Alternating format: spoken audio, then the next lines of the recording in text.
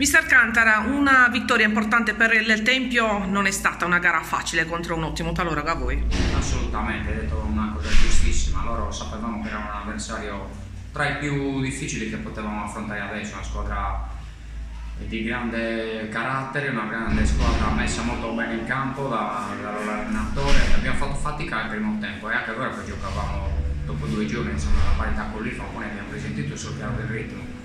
e siamo andati meglio nel secondo tempo, ci siamo asciutti, c'è stato qualche spazio in più per i nostri giocatori, poi anche i cambi insomma, ci hanno un po' rivitalizzato perché è normale che non tutti possano avere le energie giuste eh, ogni, ogni, 48 ore, diciamo,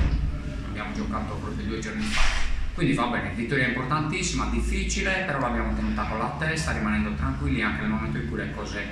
mh, sembrava che non stessero andando per il verso giusto.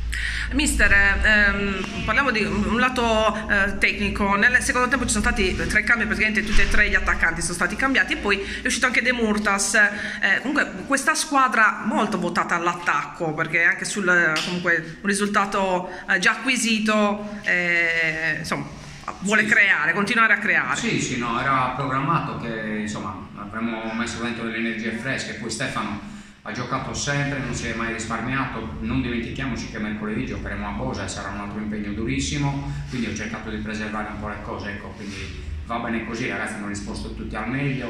e sono contento. È stata una prestazione non brillantissima dal punto di vista della qualità, però soddisfacente da, da, da un punto di vista del contenuto generale tornato al gol anche Igiene, come ha detto anche lei domenica scorsa, con quella scorsa partita è importante per gli attaccanti ovviamente trovare il gol. Sono particolarmente contento per Victor perché era da un po' che non segnava e sappiamo che per loro il gol è ossigeno, quindi il gol di Virdis e di Igiene ci dimostra che sono due ragazzi sul quale il Tempio può fare davvero grosso affidamento. Grazie, complimenti a Mr. Carlo.